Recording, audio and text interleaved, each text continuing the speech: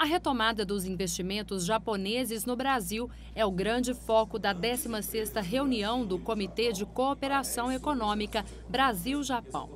O evento, promovido pela Confederação Nacional da Indústria, Sistema FIENG e a Federação das Organizações Econômicas do Japão, tem o objetivo de discutir relações econômicas e possibilidades de negócios entre os dois países. Durante a solenidade de abertura, o governador Antônio Anastasia lembrou da histórica parceria econômica entre Japão e Minas Gerais, iniciada na década de 1950 com a instalação da siderurgia no Vale do Aço. É verdade que nos anos 70 e 80, e mesmo antes disso, na década de 50, houve o um investimento japonês muito expressivo no Brasil, inclusive em Minas Gerais.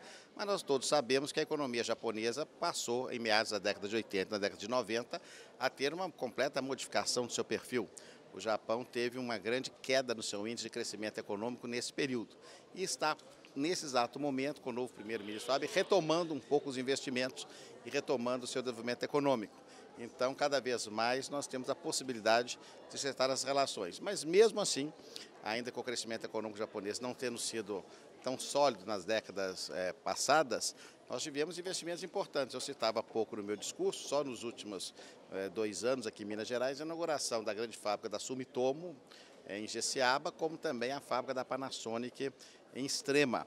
E é claro que outras negociações com o Japão sempre estão em curso. Anastasia lembrou ainda que nos últimos anos, Minas atraiu grandes investimentos japoneses, como a fábrica da Sumitomo, em Jeceaba, e a planta industrial da Panasonic, em Extrema. Anastasia falou sobre novos investimentos asiáticos em Minas. Há um esforço muito grande, não só em relação à China, mas todas as nações que possam investir.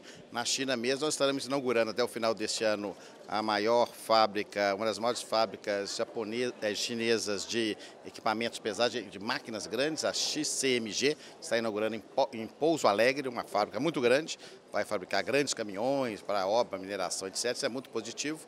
E outros investimentos que nós temos de ter, não só na mineração, mas volto a dizer, a insistência de termos valor agregado aos nossos produtos. Então todo o esforço é feito nesse sentido, para identificar, quer no Japão, quer na China, quer na Coreia, quer nos Estados Unidos, quer na Alemanha, nações que possam investir no Estado